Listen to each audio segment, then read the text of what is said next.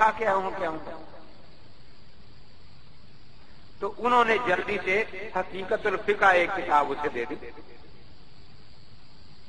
یہ لے جا پھر اس کا جواب پوچھنا اس میں نے کہا، وہ بیچارہ لایا۔ میں نے کہا، ٹھیک ہے، بڑی خوشی ہے، آپ تشریف لائے ہیں۔ اس ساری کتاب میں اس نے تین چار آیتیں لکھی ہیں۔ اور ان تینوں چاروں آیتوں کا مطلب غلط بیان کیا۔ ہے اس میں اس نے زور یہ دیا ہے کہ رائے نہیں ماننی چاہیے۔ لیکن جو اس نے قرآن کا مطلب بیان کیا ہے، وہ بھی اپنی رائے سے۔ جو حدیثوں کا مطلب بیان کیا ہے، وہ بھی اپنی رائے سے۔ جو علماء کے اقوال کا مطلب بیان کیا ہے، وہ بھی اپنی رائے سے۔ تو یہ تو لکھنے والا سر سے لے کر پاؤں تک رائے میں ڈوبا ہوا اور کہتا ہے کہ رائے ماننی نہیں۔ فرق یہ ہے کہ یہ فقیر کی رائے نہیں مانتا سفی کی رائے مانتا۔ پھر اس کے چند حوالے میں نے اسے دکھائے کہ دیکھو یہ غلط ہے۔ بڑا متاثر ہوا۔ کہنے لگا کہ مولوی صاحب، ہم تو حدیث حدیث کا لفظ سن کر ان کے ساتھ جڑ جاتے ہیں۔ یہ تو آج پتا چلا کہ یہ لوگ قرآن کا مطلب بھی اپنی رائے سے کرتے ہیں اور اپنے بنائے ہوئے مطلب کا نام انہوں نے قرآن رکھا ہوا ہے۔ اپنے گڑے ہوئے مطلب کا نام انہوں نے حدیث رکھا ہوا ہے۔ اپنے گڑی ہی بات کا نام پیرانے پیر ہم کی بات رکھا ہوا ہے۔ میں نے کہا آپ بات تو سمجھ گئے ہیں۔ کہنے لگا جی اللہ کا شکر ہے میری تو جان بچ گئی ہم لوگوں سے۔ تو یہ حدیث جو ہے اس کا بھی انہوں نے محض ایک ڈھونگ رچا رکھا ہے اور کچھ بھی نہیں۔ نواز صدیق حسن خان صاحب یہ کہتے ہیں کہ ایک مسئلہ ان کے سارے علماء کو دے دو کہ حدیث سے یہ مسئلہ جو ہے نکال دو۔ تو سارے مولوی مل کر ایک مسئلے کا حکم نہیں نکال سکتے جو نیا پیش ہے اس کے لیے ایک مثال میں آپ کے سامنے رکھتا ہوں۔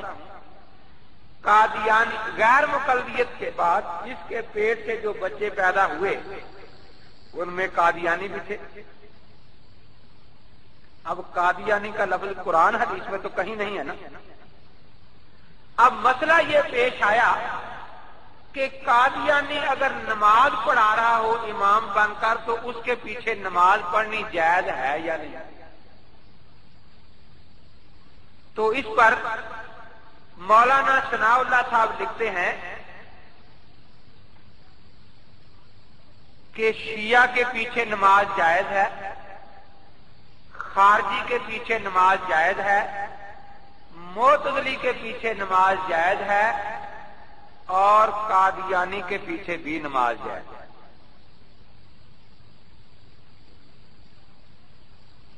یہ جب فتوا مولانا ثناء اللہ صاحب نے لکھا تو شاہ عین الحق، حافظ عبداللہ صاحب روپڑی اور مولانا عبد المنان صاحب وزیر آبادی، مولانا عبد العزیز صاحب رحیم آبادی، ان چاروں نے بھی اسی فتوے پر دستخط کر دیا۔ اب ہم نے جب لوگوں کو یہ فتوا سنایا اور پھر دوسرا فتوا کیا ہے کہ ہنفی کا دیوبندی ہو یا بریلوی، اس کے پیچھے نماز جائز نہیں۔ اس پر مشکل کتابیں اب ان کی آ گئی ہیں۔ ایک پروفیسر عبداللہ بھاولپوری نے لکھی ہے۔ اس کتاب کا نام ہے اہل حدیث کی نماز غیر اہل حدیث کے پیچھے۔ ایک پیر بدی الدین شاہ سندھی نے لکھی ہے۔ اس کتاب کا نام ہے کہ امام نیک ہونا چاہیے۔ اس میں لکھا ہے کہ ہنفی جو ہیں، یہ چونکہ کافر اور مشرق ہیں، ان کے پیچھے نماز جائز نہیں۔ اب ہنفیوں کے پیچھے نماز جائز نہیں اور مرزائیوں کے پیچھے جائز ہے شیوں کے پیچھے جائز ہے۔ تو یہ میں نے ایک تقریر میں بیان کی، تو ایک نوجوان نے ہمارے جامعہ محمدیہ میں مولانا معین الدین صاحب لکھوی، جو ان کے امیر جماعت ہیں، ان کو لکھا کہ میں ایک جگہ جا رہا تھا نماز کا وقت تھا اور مسجد نظر پڑی۔ میں وضو کر کے جماعت میں شریک ہونے لگا تو لکھا ہوا تھا مسجد احمدیہ۔ اب میں جس کا میں نے نماز علیحدہ پڑھ لی، ان قادیانیوں کے پیچھے نہیں پڑی تو مسئلہ میں یہ پوچھنا چاہتا ہوں کہ کیا مجھے ایسا ہی کرنا چاہیے تھا کہ مرزائی کے پیچھے نماز نہ پڑھتا یا پڑھ لینی چاہیے تھی؟ تو انہوں نے جواب میں لکھا کہ قرآن کا حکم ہے ور کا عمر راگین جب قادیانی امام جماعت کرا رہا تھا تو قرآن کا حکم یہی تھا کہ تم اس کے ساتھ نماز پڑھتے رہا یہ مسئلہ کہ بعض لوگوں کے نزدیک قادیانی کافر ہیں، بعض لوگوں کے نزدیک۔ قادیانی کافر ہیں تو پھر کیا کافر کے پیچھے نماز ہو جاتی ہے؟ تو مولانا لکھتے ہیں کہ ہو جاتی ہے۔ کیوں؟ ہم جب اپنی فاتحہ پڑھ لیتے ہیں تو ہماری نماز کا کوئی تعلق امام کی نماز کے ساتھ رہتا ہی نہیں۔ اس لیے وہ خا قادیانی ہو یا کوئی ہو۔ اس سے ایک اور بڑا ہوا مسئلہ، ان کی کتاب کنزل حقائق میں لکھا ہے کہ ایک آدمی نے نماز پڑھائی اور نماز پڑھانے کے بعد اس نے یہ کہا کہ بھائی میں کافر ہوں تو مقتدیوں کو نماز دہرانے کی ضرورت نہیں۔ یا اس نے کھڑے ہو کر کہا کہ بھائی میں بے وضو ہوں اور میں نے بے وضو نماز پڑھا دی ہے تو اس کو نماز دہرانے کی ضرورت مقتدیوں کو نہیں۔ اس پر حضرت مولانا خیر محمد صاحب رحمت نے ایک اپنا واقعہ سنایا کہ میں کچھ عرصہ ایک غیر مقلدوں کے مدرسے منڈی صادق گنج میں پڑھاتا رہا۔ اس لیے کہ وہاں کتب خانہ بہت اچھا تھا۔ میں نے کہا کہ چلو کتابیں مطالعے کے لیے ملتی رہیں گی۔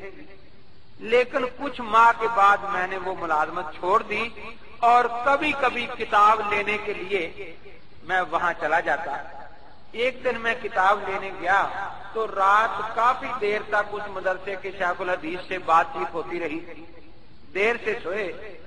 صبح اٹھے تو باہر جنگل چلے گئے ہم دونوں۔ اب ذرا روشنی ہو جائے چمگادر کی طرح تو غیر مقدموں کو مصیبت پڑ جاتی ہے۔ مسجد میں شور مچ رہا تھا کہ وہ نماز کا وقت نکل گیا۔ ہم دونوں آئے۔ میں سنجا کرنے لگا۔ شیخ الحدیث صاحب نے نہ سنجا کیا، نہ وضو کیا، سیدھے جوتی اتاری اور جا کر مسئلے پر کھڑے ہو گئے نماز کرا دی۔ میں بڑا پریشان کہ یا اللہ یہ کیا بات ہے؟ تو میں وضو کرتا رہا، وہاں بیٹھا رہا کہ چلو یہ جماعت اب ہو جائے، میں نے بعد میں اپنی نماز پڑھی۔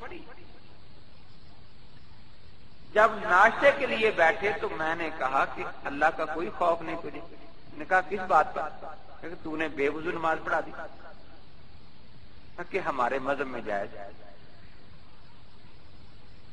کیونکہ ہمارا ہر مقتدی اپنی فاتحہ پڑھتا ہے، اس لیے ان کی ہو گئی ہے، میری نہیں ہوئی اگر میں اس وقت وضو کرتا تو چونکہ دن نکل رہا تھا، سفید روشنی آ رہی تھی، یہ مجھے امامت سے جواب دے دیتے اس لیے میں نے جماعت کروا دی ہے، میری نہیں ہوئی، ان کی ہو گئی ہے۔ اور میں اب بعد میں پڑھ لوں گا۔ تو جن کا نماز کے بارے میں یہ مسئلہ ہوگا، اب دوسرے مسائل کے بارے میں ان کا کیا کیا یہ تو ہے ان کے قرآن و حدیث پر عمل کرنے کا حال۔ اب دیکھیں کہ فقہ کی ضرورت ہے۔ کوئی فرقہ آپ لے لیں جو نماز پڑھتا ہو، ان کو آ کر فقہ کی ضرورت پڑتی۔ حتیٰ کہ رافیوں نے بھی اپنی فقہ کی کتابیں لکھی۔ کچھ اگرچہ ان کی نسبت آئمہ کی طرف غلط کر دی۔ اور ان کے پاس فقہ کی بنیاد ہی نہیں، نہ ان کا قرآن پر ایمان، ان کا قرآن گار میں، نہ ان کے پاس اللہ کے نبی کی حدیث